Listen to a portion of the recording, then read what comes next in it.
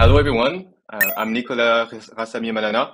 I'm a director of R&D at ANSYS, and I'm super happy today to present to you SimAI uh, and generative AI and deep learning to democratize simulation. So SimAI is part of the um, ANSYS um, AI product lineup, um, and which goal is to transform simulation at the speed of AI. So this presentation, this session is really focusing on SimAI. ANSYS SimAI is a cloud-enabled, physics-neutral platform that empowers users across industries to greatly accelerate innovation and reduce time to market. It is based on uh, our proprietary deep learning algorithms that encapsulate physics priors and that stand at the forefront of AI state of the art. With ANSYS SimAI, users are able to reliably predict the performance of complex problems in mere minutes instead of hours or days. The solution encourages more design testing, faster progress, and ultimately more innovation. So how does it work? I'm going to show you here an example on external aero on a car. So the first thing is um, based on data, you have some simulation results, past simulation results uh, that you can upload on the platform. Second, based on these results, you train a new AI model. Uh, and once the model is ready, you're then in a third stage able to uh, run some prediction of a new design here of a car, and you can predict the full simulation um, output, what the output would be um, in uh, mere seconds in a fast, reliable way. So two highlights here. The first one is SimAI does not need parameterization of the geometry. And ha that has two consequences. The first one is you can leverage simu simulation results, past and future, to train the AI model with unparameterized design or with um, by mixing different parameterization all together into one single AI model. And the second consequence is that um, SimAI can predict performances across design changes, even when the geometry is inconsistent. So that globally, that means um, it's more simple uh, of usage. Now, the second highlight is that SimAI is physics neutral. So SimAI can deal with any physics, fluids, structure, electromag, optics. Um, and that applies to all industry segments, aerospace, automotive, semiconductor. And last point is that um, SimAI works with simulation results, uh, 3D simulation results coming from various solvers, and that includes ANSYS, but also others.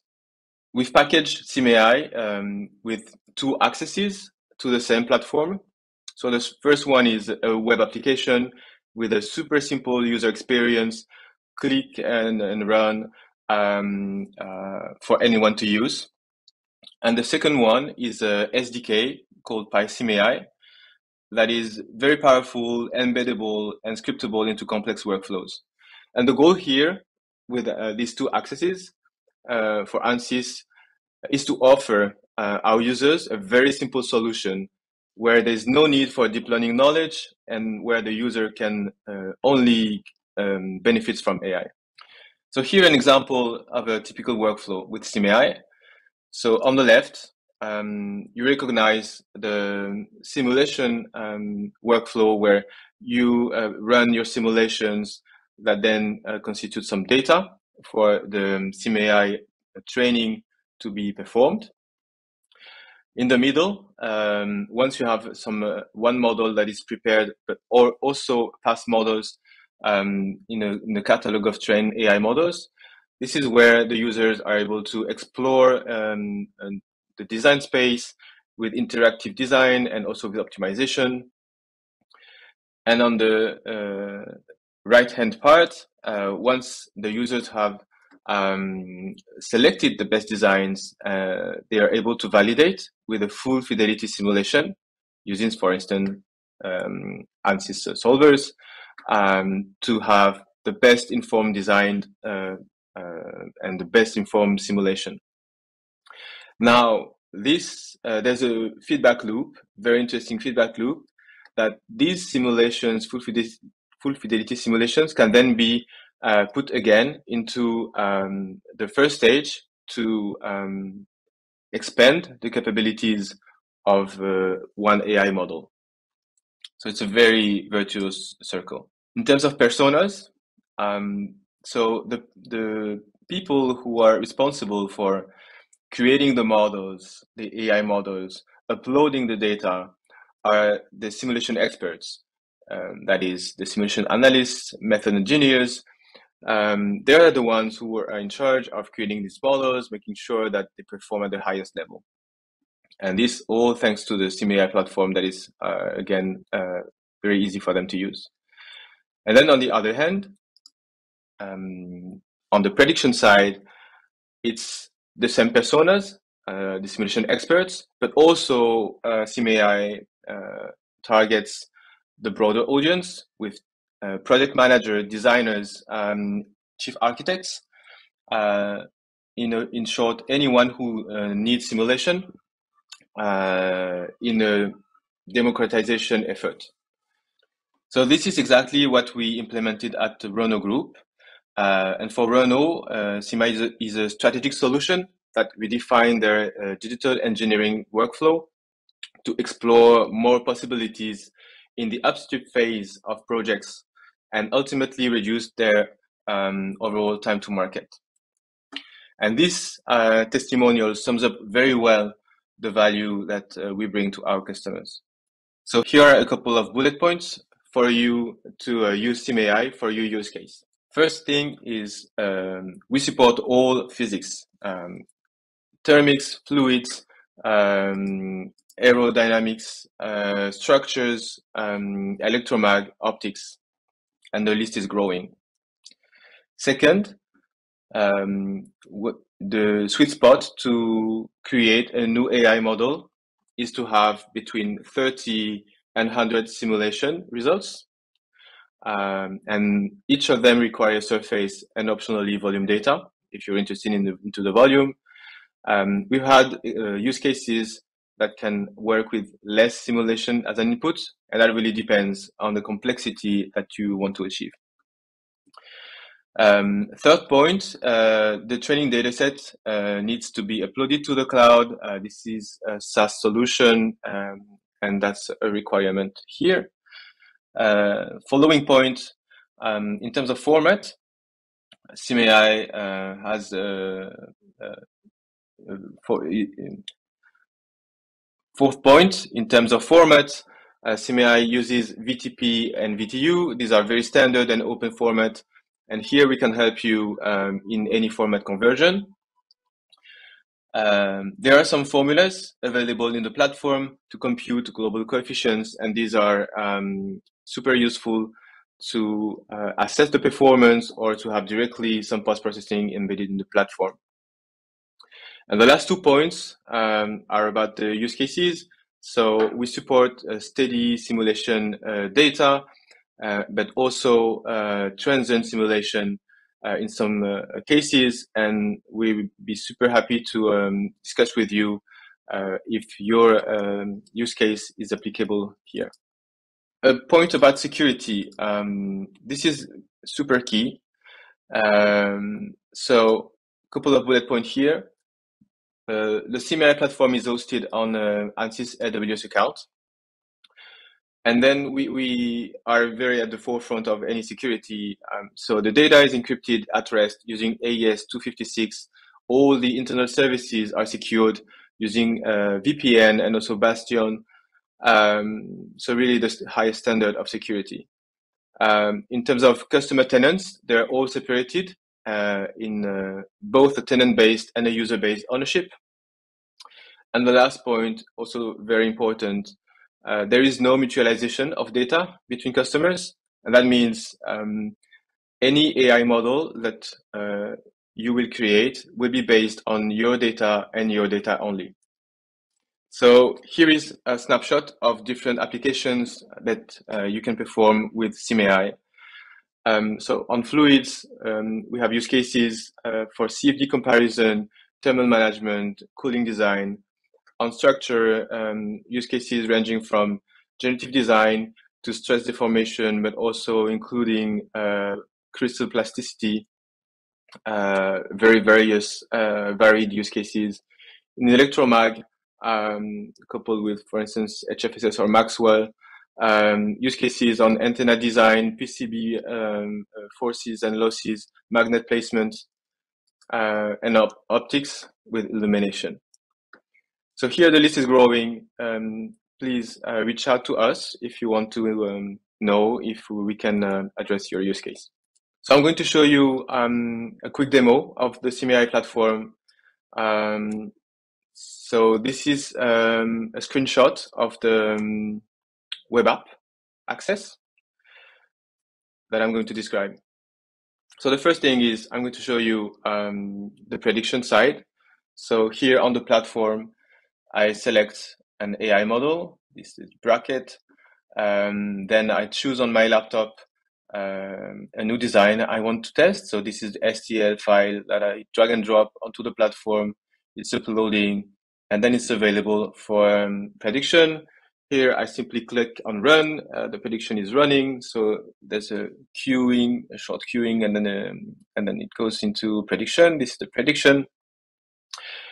And here it's in real time. The prediction is ready. Uh, and then I'm able to compute some post-processing, the volume I can download. I can uh, generate some slices. I can also visualize uh, the surface directly within the platform. So this is the results of SimAI um, the result of the prediction that we just carried out.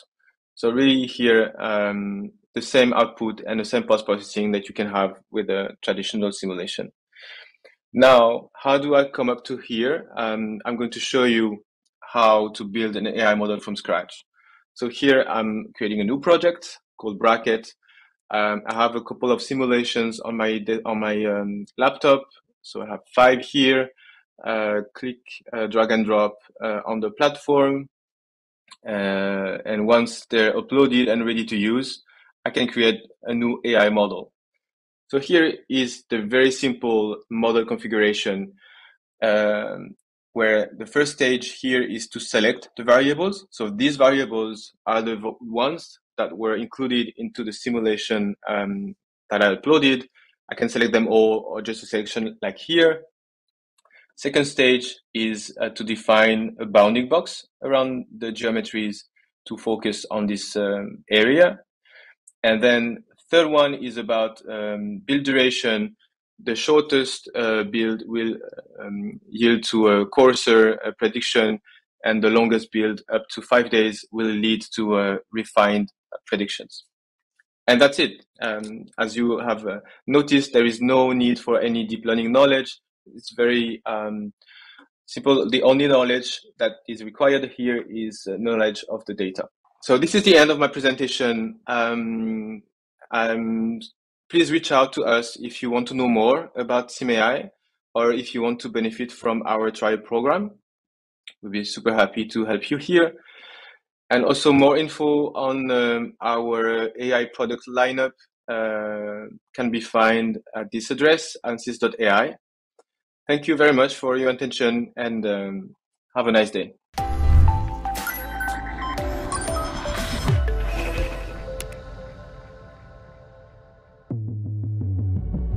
The Indy 500 is a thrilling spectacle that features some of the fastest machines to ever cross the bricks. Each year, it's all about making the cars smaller, lighter, and faster, which takes months of advanced planning, design, engineering, and of course, simulation. For us, it's really trying to use simulation to try to understand all these different variables, but also control the variables too, which simulation does very well.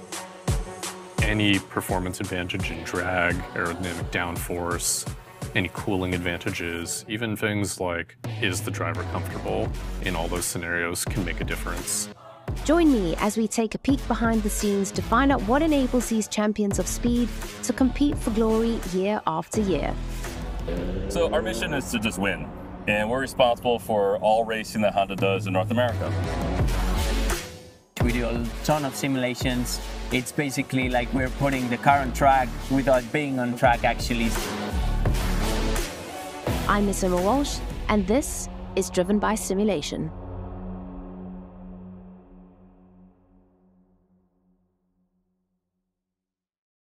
For more than a century, mobility has been the beating heart of human progress, connecting us across vast distances, expanding our reach, and shaping our daily lives.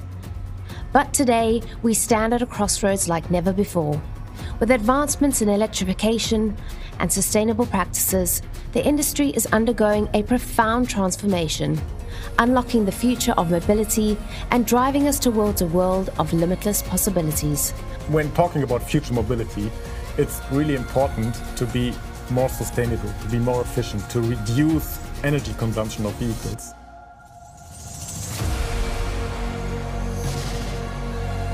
We literally have 6 million variants.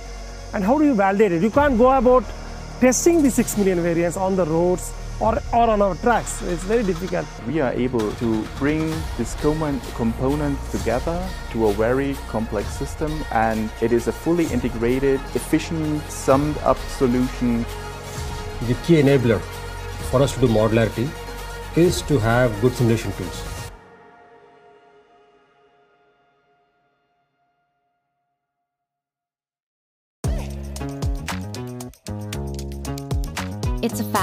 Our cars are getting smarter. But with more people and more technology filling our roadways, how do we not only adapt quickly, but also safely? I'll give you one guess. I'm Miss Emma Walsh, and this is Driven by Simulation. Right now, every company we work with expects to see simulation data. With virtual prototyping, you can totally save cost and time because you're using virtual prototype to replicate a real scenario. So it, it allows you to be able to model accurately where light's going, how it interacts with different surfaces and, and different materials, and where it'll end. It's always better to have more simulations. We can just um, change the values and get back the results within seconds. So this helps us a lot, especially in the development phase. A digital twin is so important for us. So it's future.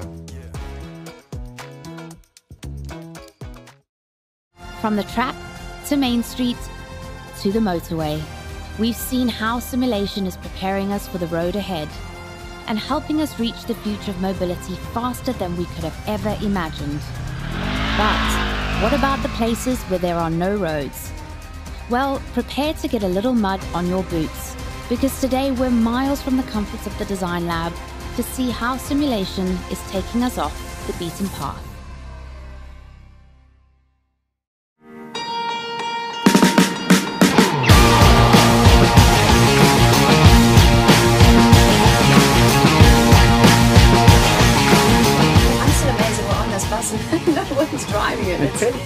There is no driver here. And more than 90% of the accidents are caused by human error. This can be prevented if we really let the car drive itself. And this is where simulation comes in critically.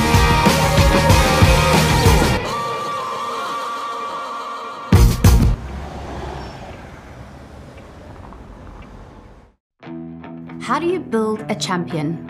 In this era of Formula One, it takes a balance of skill and science, adrenaline and engineering, a passion for disruption from the design lab to the pit lane, and the drive to not only be faster, but more innovative than the competition. Today, we find ourselves an hour's drive north of London at the home of one motorsport team whose mission is to win and to do it differently. Join me as we kick off this journey with a peek behind the curtain at one of F1's hottest and most competitive teams. To explore how engineering simulation is helping to unlock a competitive edge and push the boundaries of what's possible both on and off track. I'm Miss Emma Walsh, and this is Driven by Simulation.